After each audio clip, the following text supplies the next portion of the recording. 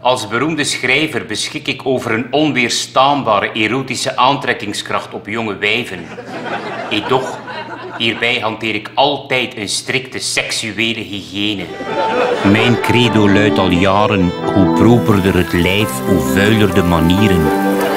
Pas wanneer alle beschikbare lichaamsdelen vooraf grondig gereinigd zijn, kan het seksuele festijn een aanvang nemen. Zeg ga jij niet even in een douche en je tanden poetsen of wat? No fucking way, baby. Mijn aantrekkingskracht ligt in de natuurlijke geur van literair testosteron, schrijversweet en de wilde frisheid van look met Italiaanse kruiden.